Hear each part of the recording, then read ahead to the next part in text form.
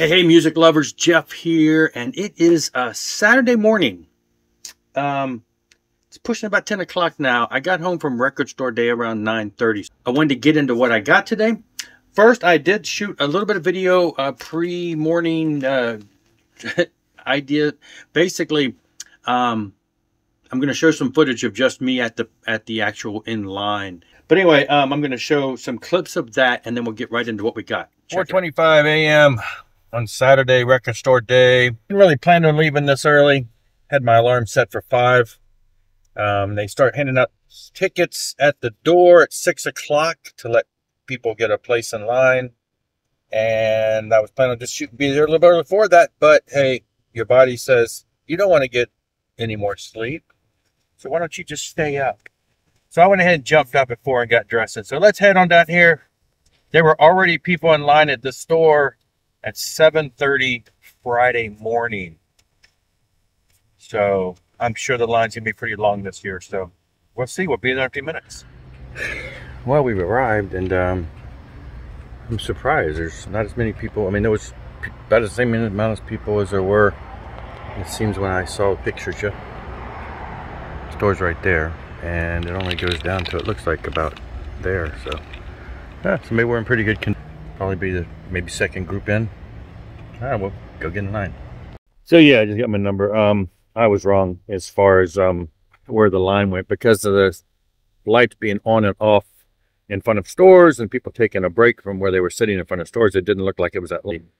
The line went all the way to the very end of the shopping center around the corner. It was um, just around the corner, about two people behind the corner, but then it continued for the next hour building up. It went around the side and all the way to the back of the building. Um, I know that the record store owner came out and took a video, so I'm going to try to capture that and maybe show a quick clip of that. Now we got to wait for a while until they open doors at 8 o'clock, and uh, they estimate that my group, fifth group, 20 people at a time, that they estimate uh, will probably get in somewhere a little after 9, so I'll be back. All right, so I went home after getting my number. I am number Group 5, number 14. They let in 20 at a time. So there are four groups of 20 ahead of me, and I'm number 14. So I'm technically number 94 to go in the store. At this point, it is about 8.45. I went home, grabbed a bite to eat and everything, and um, got home about 6.30. So here I am back at 8.45. Probably be uh, going in a little bit. What they do is, you can't see it from here, but I got a, a view through these cars where there's a big sign in the window that says four, which means that group four is to line up outside. And so once group three is done going through musical chairs, 20 people at a time, getting their choice one at a time of records, then they'll let in group four. And when group four goes in, they'll put up a sign saying group five to come line up. So that's what I'm waiting for. Um, group four has been lining up for about 10 minutes now. So it depends on how slow group three is. But I'm thinking that they'll probably call for group five to line up probably next 10 minutes or so. And then after that, I'll be standing out there waiting to let it in. And then we'll go in and grab some stuff. We'll see what happens. Okay, so now once we got in, the uh, five groups ahead of I was the fifth group, four groups ahead of me, four groups of twenty. I was the fifth group, and the uh, got in, and as as kind of expected, the majority of the ninety some people ahead of me tended to be people who were there for one, maybe two albums, and they were gone. So the groups moved pretty fast. Lots of parents with teenage girls, and I knew they were all there for Taylor Swift, and they were probably one and done and out of there. So the groups moved pretty fast. Um, so real quick, what I got first off, they gave everybody there at least the first hundred to 150 people got this slip mat of the Beatles Revolver. They also had some T-shirts of this that they gave away. And funny story, the people in front of me, about four or five people in front of me, was a, a father daughter, and the father was there in this case, not the daughter. So when they hand out the tickets, he goes, "Well, she doesn't need one. She's not going to buy any records.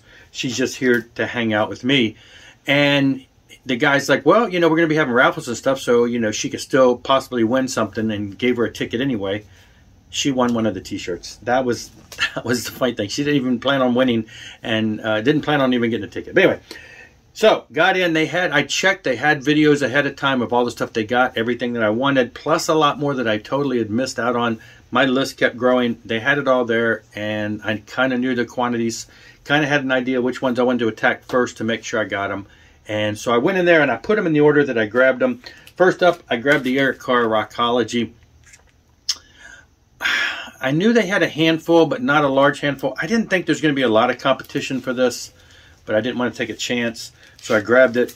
Um, it is, of course, the I have the CD of Rockology. It came out years ago. This is the another vinyl reissue of it. They made it to look like the other solo albums.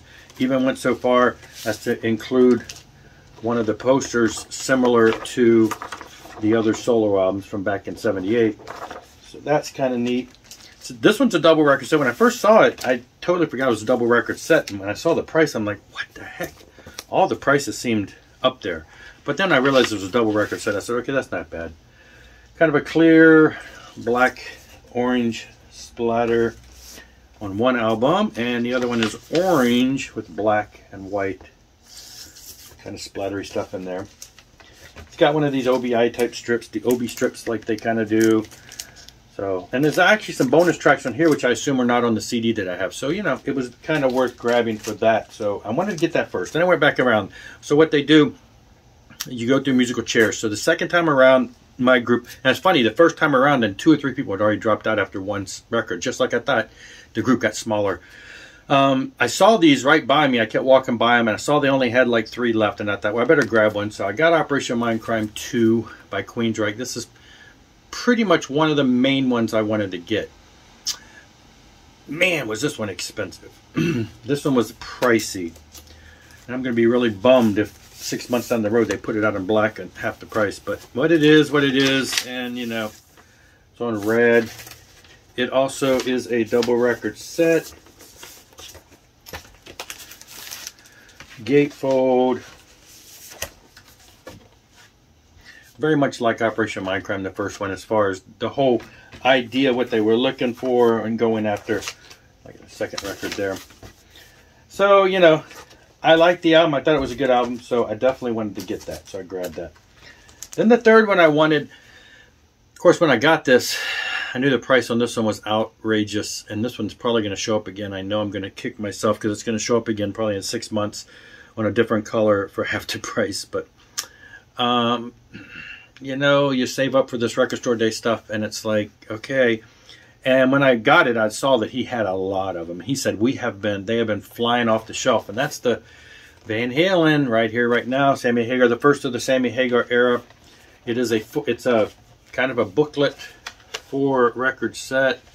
Got a couple bonus tracks that were not on the original record, so remastered from the original master tapes on red vinyl. Translucent type red. So the guy in front of me, the one with the daughter, he was there. He he wanted to get this, and when they told him the price, he said, "I." Uh, he walked around one more time, and he came to the front line and said, "I pass." And I kind of should have done that, but you know, is what it is. Fourth time around, I wanted the Dio live in Fresno. Um, love Dio, great Dio uh, reissue, first time on vinyl. 2LP first time on vinyl, 1983. I think I saw Dio on tour in 84, maybe early 85. Same, uh, this is a double record set. Basically the same stage so, show and everything. So, just a great memory of going on another translucent red. Everything's translucent red today, it seems like. Then I'm like, okay, I probably should be done. But I went back to it and I said, there was one other one I wanted, and that's the Mr. Big. I bought the last Mr. Big on Record Store Day, and I thought I might as well get this one because I, you know, dig it, and I wanted to get it. Um, 3500 solid blue. And the translucent also. Insert kind of generic, just some lyrics. Not a whole lot going on there. So, that was all. I had about five or six other things on my list. There were some things that I was like, I wouldn't mind having, but once I started seeing the prices on these, I had to stop. Maybe those will be still existing later on down the road. Maybe they'll go on sale. The Suzi Quatro, the Generation X. Um, kind of was toying with the idea of getting the Sparks reissues. Um, they had pop music, which I didn't look at it. I love that song, but it sounded like they were playing it overhead, and it sounded like the same song, just pop music, different mixes, not like the full album. Didn't want to go there. I was going to get the Helter Skelter picture disc. I'm not a big picture disc fan, but I like Motley Crue, and I was like, nah, I don't want to get another picture disc. It's just, it's like nothing really major new there. The Dio picture discs every year, just those picture discs drive me crazy. I picked this up. This is actually picked up. Um, Scott Waters asked me if I see it to get it. I messaged him right as I was in line. I said, Do you still want it? Because he messaged me this a couple weeks ago. Do you still want it? Of course, I know he's like three hours behind me, probably still in bed because it's like nine o'clock in the morning here. So it's like six out there. I went ahead and got it because if he, for some reason, doesn't want it, I mean, I, am not going to complain about keeping it, but that's the Ted Nugent Vault. Nuge Vault. Um, studio rarities and alternative takes. So I went ahead and grabbed that. I know he's a huge Ted Nugent fan. I'm a nominal Ted Nugent fan and only have a couple records by him. So I grabbed that. Um, yeah, that's it though. So that was my fun on Record Store Day, and um, so many great things. So many people. I don't know how many people were at the store. If I was number 94, I saw people who were wandering around the outside of the store waiting to get in who had tickets number 120 something. So I know there's a couple more groups. But anyway, it was fun. It was great. Fun to do. Got some great stuff. That's it for this one. Rock on and rock hard.